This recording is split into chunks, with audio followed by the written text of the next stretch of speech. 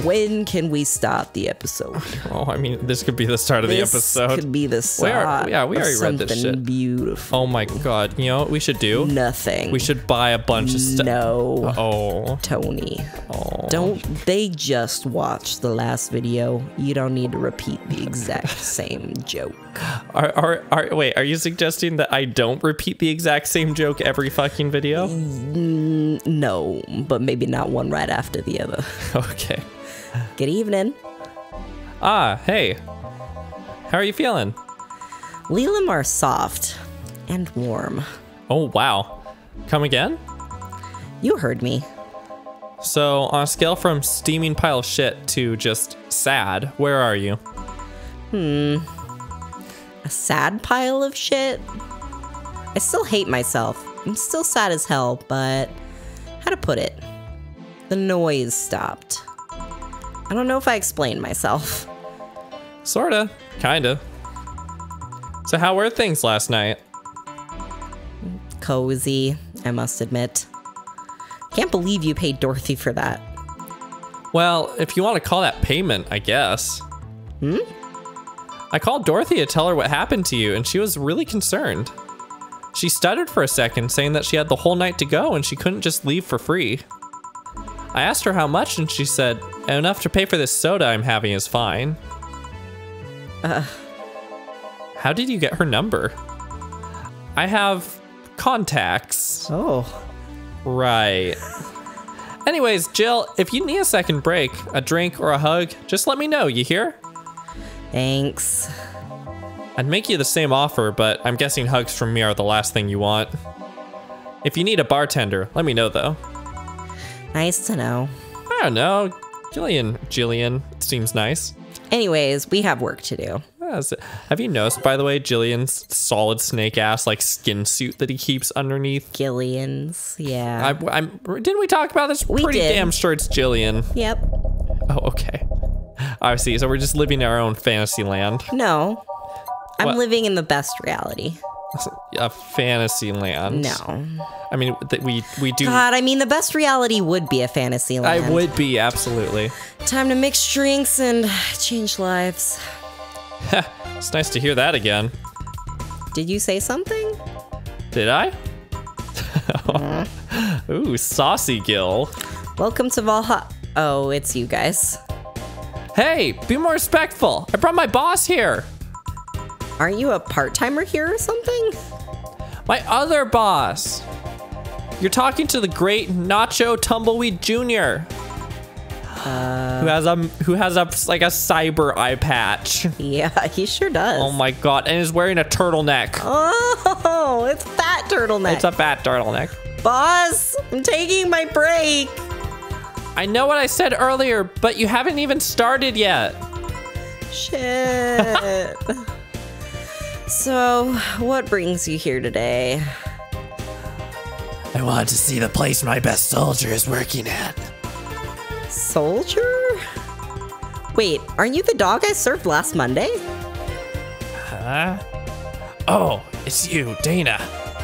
Soldier, why didn't you tell me you were working for Dana? No, that's not Dana. That's just Jay. Uh, So I'm guessing you're part of this whole Sierra thing. Part of it. I founded it. Humans have the best intentions, but they just don't get us. So I decided to create a place where dogs can be dogs. You're moving from gravel to nasal. Am I? Everything with Tony tends toward nasal. I, it's true. It's, uh, here, we can take in any dog without a place in this world. We create our own heaven on earth. Outer heaven. And do you take corgis only? Do I look like one of those cipher bitches? Of course not. I'd include other animals, but sadly, I can only take care of those who are the same species as I. Sad thing is, I'd take him more seriously. But it's a talking corgi with an eye patch. Will you get anything? I'm fine. What about you, boss? Manly stuff. You sure? Did I stutter? Oh my god, that's the same line as the as uh fucking Johnson, Jonah J. Jameson. Earlier, first the very first person we served. Oh, yeah. All right. A manly drink for the dog. Maybe I should just give him something bitter. Something bitter and manly. All right, all right. Yeah. Bitter. type. Manly. Manly, bitter, strong. Bitter, manly, the strong. gut punch, Let's do it. classic. Yeah. Classic gut Punch punch. this dog in the gut. Get him drunk. Tony, that's too drunk. I don't, I don't know. Tony. Uh, Here. Yes, this is just what I wanted. Black, this tastes worse than my own butt. Hey, you asked for it. This is a really nice place, you know. You picked a good place to work at, soldier. Thanks! Does he really get paid? Your efforts to keep Sierra afloat will not go to waste. We'll make her better and better. I mean, we're pretty much on the verge of closing. Can Boss really afford that? We have more urgent matters at hand, though, like the fact we don't have enough balls for everyone. Can't they just share the ones we have? You fool! Every dog has a right to have his own ball. If we can't provide even that, then what's the point of even trying? Wait, don't tell me she just doesn't give a fuck and is spending all of her money like water. Dana. I mean, what with the bar closing and all that? But many have enjoyed the boxes more than they do the balls. That's a good point. What do you think is cheaper, a box of balls or a box of boxes? Are there boxes of boxes? Of course there are. How do you think they ship boxes? Tied together? Tied together? Don't be silly. Unless she's paying him straight from her pocket. Boss is that kind of woman. I like how Jill's just completely ignoring their bullshit. Yeah. This world is filled with all sort of recursive madness, you know? Doctors consult doctors, boxes come in boxes, bottles come in bottles. Do they? Oh, as expected from you, boss. Wait, that theory only works assuming she's actually paying him with money. For all I know, she might be paying him with steaks. So tomorrow you're gonna check for people selling boxes, you hear? Sir, yes, sir. Except that to Boss, a good steak is more valuable than money. Wait, what if they come with foil? Uh, what? Rosenstrauss had to be taken to the vet because he ate the foil. A piece. He ate the foil a piece of cheese came in. Curses! You're right. We need a contingency plan. Besides, Boss is not one to scam people, let alone a dog. I really like these dogs. yeah, me too. I wonder if we can strike a deal with the vet those cipher bastards have. She's always so nice with us. I know. Her smile is so cute too. So it's better that we vet for a vet. Yes, put that on the list. Ah, Nacho. It's just huge compared to them. Yeah. Oh yeah, forgot she knew the dog. Are you staying for a while? I was just passing by. I've got some errands to run. Great. Gil can go with you. I can? You will. I'll still get paid for today, right? That depends on Nacho's evaluation. All right, Greenhorn, let's get going. oh, I'm paying him anyways, by the way. Just wanted to mess around with him. No, that's not the problem here. I really like this scene. Why make him do that? It gil looked like he needed to take a good break, and he's the kind to just not accept such a thing. But with Nacho, he'd have something to do, and he'd be away from the bar for a bit. When you put it that way. Anyway, I'm going back to my office. Your boss sure is nice. Glad I'm working with her too. Yeah. So, you having anything? Actually, I'm just gonna go sit over there and be on standby. Await orders. Okay. Shit, I missed the chance to ask how or if he even gets paid with money. I mean, he's across the room. Man, I sure need to get wasted. Everything is nasal. I fail to see how getting wasted will make you feel best. Sheba! Oh, I, I I remember this voice. I think. Uh-huh. For fuck's sake, you piece of scrap! We just got out of a building full of dogs. But this one has a Hawaiian shirt and sunglasses, Hey there, robot! and he talks. Uh. Welcome to Valhalla. Hey, Jill. Give me a beer, will ya? Gotcha. Does Deal want anything? Okay, roll. Sir, yes, sir. So cute. He's fine. Just a beer then. Friday after work isn't just a beer, though. It's the beer. Can't argue with that. Beer for Betty. Can make it big for the heck of it. Oh, Big. yeah. Let's make it big. Big old beer. Oh, oh, this game is so cute. It is pretty cute. I like, it. I like the dogs. Uh, one, two, three, four. Fuck, I can't stop. It's uh part of me. Nope. Yeah. yes. Here, let's make it special. Yeah. Cheers. Hey, Jill, do you like beer? The amount of beer cans in my apartment is becoming a problem, actually. I had this friend back in high school who made some pretty nice crafts with them. I'm still in contact with him if you're interested. No, thanks. Last thing I need right now is more crap taking up space. So, how are things up at Dogtown? Well, that Laura girl's stirring things up, for better or for worse. For worse? She's, um, like a rabbit. An overtly politically correct rabbit. R- rabbit? Never had a pet rabbit? They're a nervous mess that gets startled over the littlest of things. Which one's Laura? Uh, no idea. No idea. Is she the one who quit the the what the tribunal? The the fucking newspaper? No. No, that's Kim. Okay, all right. I think Laura is not somebody we've met. Okay, all right. And this girl is on the constant lookout, scared of saying something that might irk someone. It doesn't have to be the person she's speaking with, even.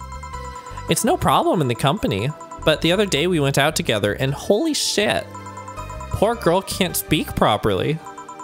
She pauses every sentence to make sure she doesn't say something offensive. She's a nice girl, and it's sweet that she tries so hard to not offend anyone. But seriously, she tries too hard. Yeah, this this is kind of a real thing in real life where Yeah. some people like just need to take a deep breath and it's okay if you make mistakes, just do right. your best. Also, like, conflict happens. Right. It's just life. You don't help either. Hmm? You randomly yell, What did you say? whenever she's within earshot distance. Yeah, well, it's just that she looks so cute when she's startled. Oh god. Like a rabbit. Oh god. It raises up the question of whether she's really like that. Or if you're the one making her wary of anything she says. Well, why don't we test that? How? You go out with her Why? to test if it's really me who makes her like that. Hmm. It's not like you can say no, you know. I mean, it's my honor that's on the line here. I want to prove you're only talking shit about me. Even if you were right, you have quite the fixation on that girl. She's fun. Fun how? She actually reacts when I tease her. Uh. You take it in your stride, but she gets, actually gets startled, squirms, and then gets uncomfortable. How is that any good? She's cute, and her reactions are cute. But if you keep it up, she'll either leave or get used to you. You know, like me. Shit, you're right. I must save my teasing for when the moment is just right then. No, that's not the problem. It is for me. And what are you doing here? What about the dog? He said he had to go out. By the way, he said his name was. Say, this Laura girl. Do you guys get along? I like how the name of the dog is a mystery. Mm-hmm. I wouldn't know. We get along as coworkers at the very least. Hmm. What kind of girl is she? Aside from the whole politically correct rabbit thing. Slow. She's the kind that does things so carefully that she does them really, really slowly. Really, really slowly.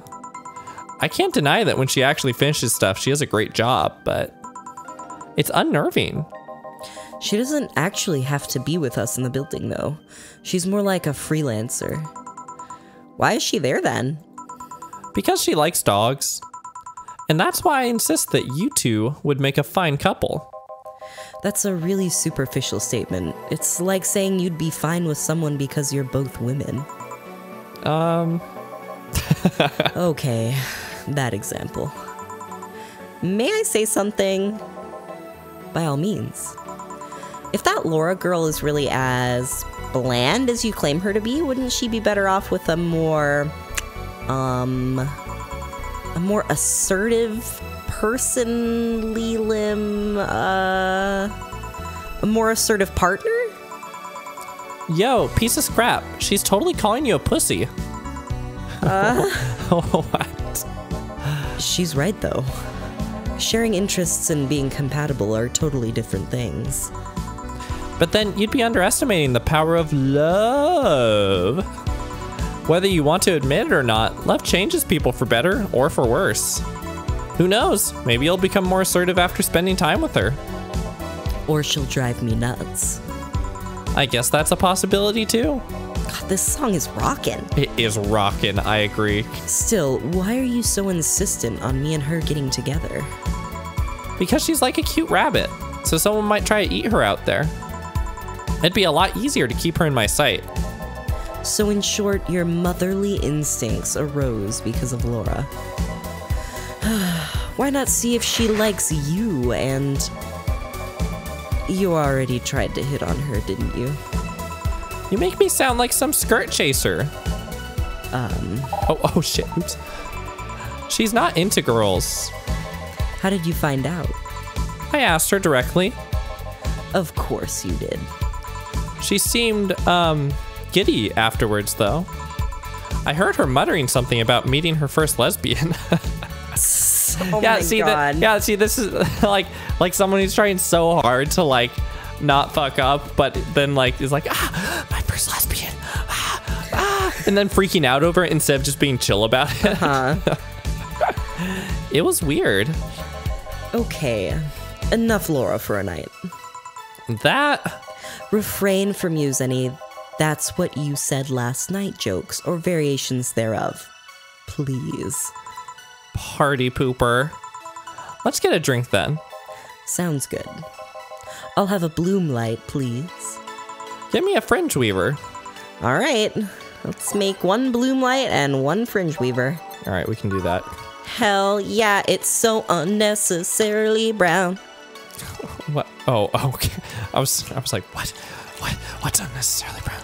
Boba Fett, uh, on the rocks, aged Tony, we should have a A Gay dance party. What would that even be? We record a let's play, but there's music playing and we're dancing the whole time. like, but do we have a webcam or do we still not? Yes, a webcam or not. I think I would sooner die in a pit than record something like that. Wow. It's true. I would. You know what, Tony? You can be constructive when you're talking about other people's genuine, well thought out, close to their heart, Yeah. like ideas and projects. yeah, I fucked up there. Here you go. Uh, damn it. I wonder why it's called a bloom light. Seems it was first developed at some video games event. The creator said something about making the attendees feel like their customers you. Said attendees were, of course, part of some big games company. Seems that company always used too much bloom lighting, so the bartender there literally made them drink all the bloom. That's weird. So it's not called that because it glows in the dark? Not this one, no. Come to think of it, did you ever change because of a relationship, Jill? What the? Okay. uh, in more ways than one, I guess. Would you say for better or for worse? Oh no, this is the worst topic. I guess for the better? I'm too thick headed to develop any new bad habits. That's not true, Jill. Although, thanks to my first boyfriend, I did pick up a very annoying habit of correcting people's grammar on the fly. Pretty annoying when I think back to it. So you were one of those kinds of people. As for me, sometimes I think I become or became more um what's the word? Cynical, jaded, bitter, tired of the crap this world and everyone in it throws on a daily basis. Hey. I'm just quoting you. But yeah, I think I became all that because of this one girlfriend I had in college. She got me into the whole activism thing in the first place. How is that bad? We'd all go and protest. We'd start all kinds of movements to see things changed. I really got into the whole thing. But whenever I wanted to get more serious, I'd find myself coming up against a wall.